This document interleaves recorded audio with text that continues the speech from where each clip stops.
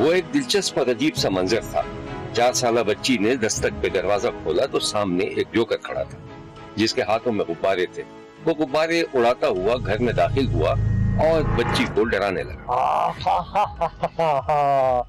ये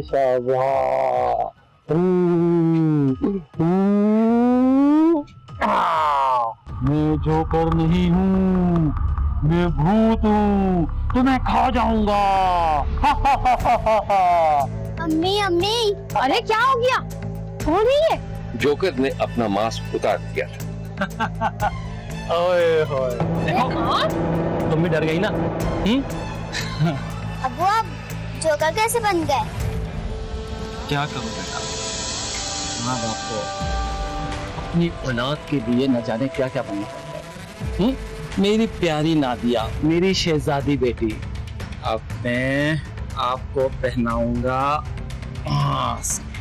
और आपने रहना है अपनी अम्मी को हाँ? रो शाबाश। अरे चल भाग यहाँ से। और कहाँ थे आप इतने दिन से? आ गया आपको अपने बीवी बच्चों का ख्याल। क्या करूँ मुख्तारा? तुम्हें तो पता है कि मैं सर्कस में काम करता हूँ। कभी इस शहर में, कभी उस शहर में। बच्चों की रुकती के लिए तो आना जाना लगा रहता है।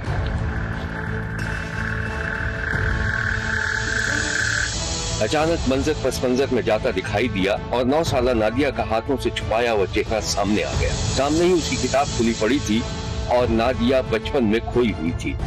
उसे कोई शख्स उंगली पकड़कर स्कूल ले जा रहा था और छुट्टी पर वापसी में उसे चीज़ दिलाता हुआ घर छोड़ते भी देखा गया बहुत शुक्रिया असलम तुम्हारा। मैं खाना लगाती हूँ खाना खा कर जाना। नहीं भाई मुझे भूख नहीं है अब मैं चलूँगा बस। नादिया रजाक को अजीब अजीब सी नज़रों से देखते हुए अपनी माँ से चिमट गई। क्या क्या हुआ मेरी बेटी?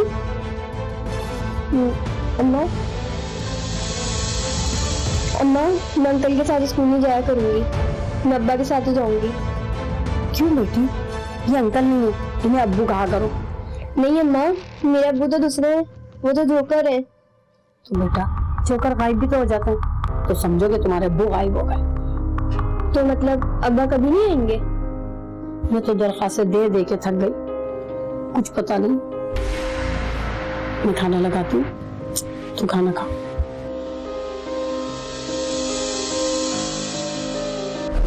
नादिया चार बरस की थी कि अचानक उसका बाप कहीं गायब हो गया। वो सर्कस में काम करता था शहरों शहरों गाँव गाँव घुमा फिरा करता था और साल डेढ़ साल में एक बार घर चक्कर लगाता था। लेकिन इस बार गायब हुए, उसे चार से पाँच साल हो चुके थे। नादिया के बाप के गायब होने के बाद इलाके के रिहायशी असलम ने उसकी माँ की बहुत मदद की और फिर वो नादिया को भी स्कूल लाने ले जाने लगा। लेकिन पता नहीं क्यों, नादिया को उससे खौफ आता था। एक दिन शब्बीर ने देखा कि नादिया स्कूल जाने के लिए तैयार हो चुकी थी। और अपनी माँ से जिद कर रही थी कि वो अंकल असलम के साथ स्कूल नहीं जाएगी। असलम दरवाजे के बाहर ही था। जा बेटा जल्दी से चली जा। असलम तेरा इंतज़ार कर रहा है तुझे स्कूल छोड़ देगा। नहीं अम्मा मैं नहीं जाऊँगी। क्यों नहीं जाऊँगी? नहीं अम्मा मैं मैं नहीं जाऊँगी। मुझे डर लगता है उनसे। क्यों डर लगता है? मुझे बता कोई बात है? नहीं अम्मा मैं नहीं जाऊँगी। बहुत जिद्दी है तू। असलम तुम जाओ मैं छोड़ दूँगी इसे स्कूल। असलम ने जैसे ही खुदा हाफिज कहा नादिया दौड़कर दरवाजे पर गई और थोड़ा सा दरवाज़ा खोलकर उसको जाते हुए देखती रही। चला गया। अब तू खड़ी यहाँ क्या देख रही है? चल। माँ अपनी बेटी को घसीटती हुई अपने साथ ले गई। इस वाक्य के बाद असलम ने खुद नादिया के घर आना जाना छोड़ दिया जिस पर नादिया की माँ खासी परेशान थी क्योंकि असलम नादिया के घर के काम भी कर दिया करता था। एक दिन नादिया की माँ मुख्तारा को देखा गया कि वो असलम को फ़ोन कर रही थी। असलम कारखाने में था। हेलो? हाँ मुख्तारा। बोलो कैसे फ़ोन किया? ये बताओ कि तुम घर क्यों नहीं आते? पंद्रह दिन हो गए अरे मुख्तारा मैं क्या बताऊँ? वो उस दिन नादिया मुझसे डर गई थी ना तो मैंने सोचा कि वहाँ आकर खाम खा बच्ची को क्यों खौफजदा करूँ? कोई डर वर नहीं रही थी। बच्ची है ड्रामा करती है। वैसे मैं सोच रही थी कि नादिया को हुआ क्या है? कहीं तुमने उससे कभी डांटा वाटा तो नहीं है? पागल। बोला मैं उसको क्यों डांटने लगा? अच्छा बताओ ना कब आओगे? मैं कल आऊँगा। अच्छा ये बता कि नादिया सुबह स्कूल तो जाएगी ना? नादिया तो एक बजे तक आती है। तो बस फिर ठीक है मैं सुबह आऊँगा। दोपहर में क्यों नहीं? अरे तारा समझा कर। मैं नादिया का सामना नहीं करना चाहता। सामना? मेरी कुछ समझ में नहीं आ रहा। अच्छा एक बात तो बताओ। बेटी अपने बाप को याद करके बीमार हो गई। क्या करें? एक मुख्तारा मैंने तुझे पहले भी कहा था कि हम जाकर थाने में उसकी गुमशुदगी की रिपोर्ट दर्ज करवा देते हैं। ये हमारे लिए बहुत ज़रूरी है। अगर तुम वादा करो मेरा साथ देने का तो मैं करा देती हूँ पुलिस में रिपोर्ट मैं अकेली पुलिस थाना कैसे करूँगी? और पुलिस को क्या पड़ी है उस गरीब के शौहर को तलाश करने की? अच्छा मैं कल आता हूँ फिर बात करेंगे। ओहो, ये लाइट फिर चली गई। अच्छा उस्ताद ये ब्लेड जो है ना न जाने कब से खराब पड़ा हुआ है। इसकी कार्ड बिल्कुल खत्म हो गई जरा देख लो इसको। हाँ हाँ मुझे मालूम है। फिर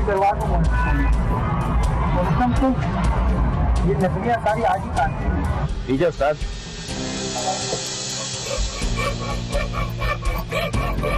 यहाँ लेते हैं एक छोटा सा ब्रेक। कहीं जाइएगा नहीं हमारे साथ रहिएगा क्योंकि कोई देखे न देखे शब्बीर तो देखेगा।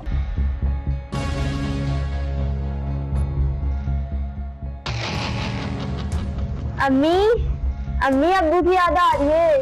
इतने दिन हो गए, वो अभी तक नहीं आए। अम्मी।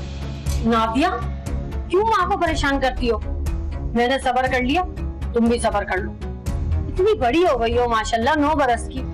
चलो उठो, कल के लिए कपड़े इस्त्री कर लो।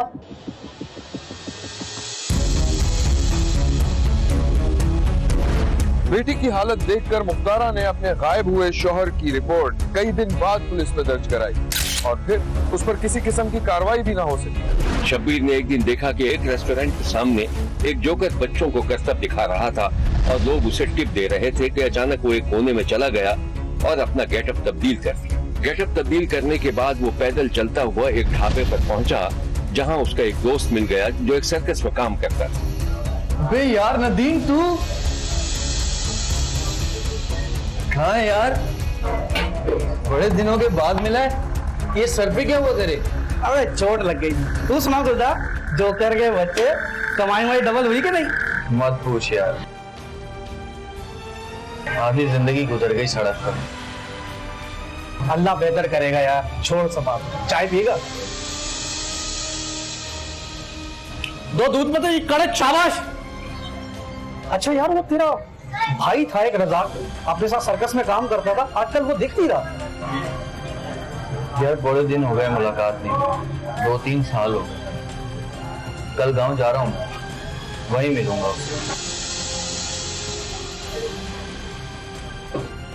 अरे ज़बरदस्त। बड़े मज़े की चाय है। हाँ है। कैसे मैं दूँगा। छोड़ यार। ये ले आप तू और सुना सब हाल वाल खैर कर रहा है या नहीं? नादिया का चचा गाँव पहुंचकर सीधा अपने भाई के घर पहुँच गया। जा बेटा देखो नादिया ने दौड़कर दरवाज़ा खोला और खुशी से चाचा चाचा चीखने लगी।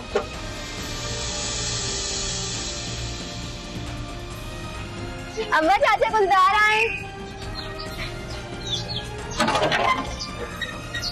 अरे गुलजार तुम कुछ अता पता है भाई तुम्हारा?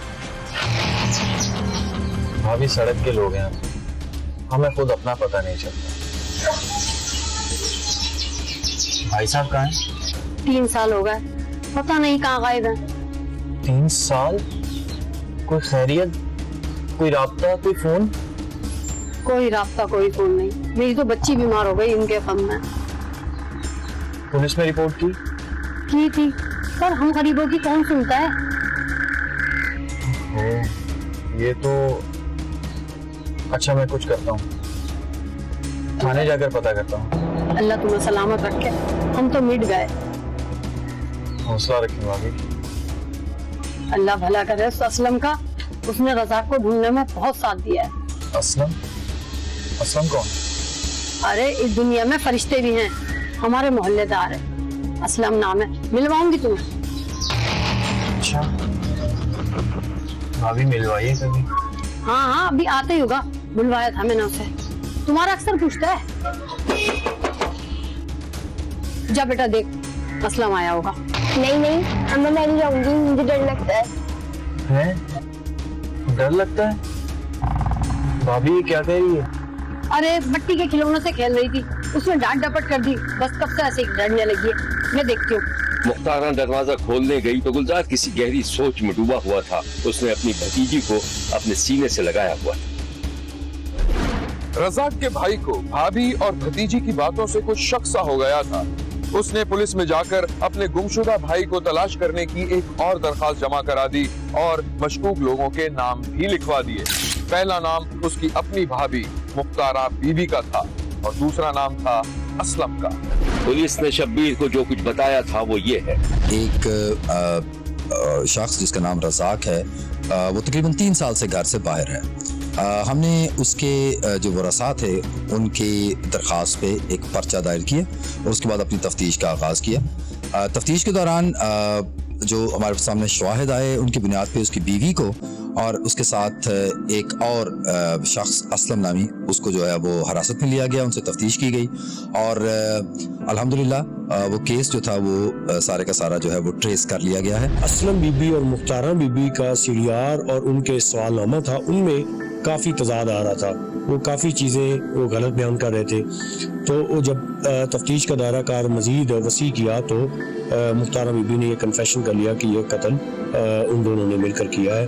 और इसके अलावा उसने कोर्ट में भी 164 की स्टेटमेंट दे दी कि उसने और असलम ने मिलकर ये मर्डर किया। और ये है मुलजिमा। भाई मेरा कोई रोका नहीं था ऐसे तो। मुझे ये जो लड़का था मोहम्मद असलम भी मुझे बहुत ब्लैकमेल करता था। ये कहता था इसे तलाक ले लो। पहले ये नहीं आता था हमारे घर में मेरे तीन बच्चे थे। जब तीन बच्चों के हुए उसके बाद में ये आने लगा था। इस लड़के ने किया। उसको नींद की गोलियाँ दी फिर उसका छुरी से थोड़ा सा गला काटा, फिर उसको खींच के वॉशरूम में ले गया। वॉशरूम में ले जाके पास में दो तोड़े रखे चीनी वाले। तो जैसे जैसे ये उसके पीस करता गया, वो तोड़े में डालता गया। ये है मुख्तारा के मजलूम बच्चे और ये है वो बच्ची जिसका शब्बीर ने नाम ज़ाहिर नहीं किया। आप इसे नादिया ही समझे, ये चार बरस की थी और सो रही थी तो उसकी अचानक आँख खुल गई थी और शायद उसने अपनी माँ और उसके आशना को देख लिया था कि वो उसके बाप को कत्ल कर रहे थे। बच्ची थी, इसलिए खामोश रही, लेकिन इस वाक़े ने उसे खौफजदा कर दिया था। शब्बीर का कहना है कि खून छुपाने से नहीं छुपता नादिया के बाप का मुबैना कातिल और उसकी माँ तीन बरस बाद पकड़ लिए गए थे। देखते रहिए, क्योंकि कोई देखे, न देखे, शब्बीर तो देखेगा।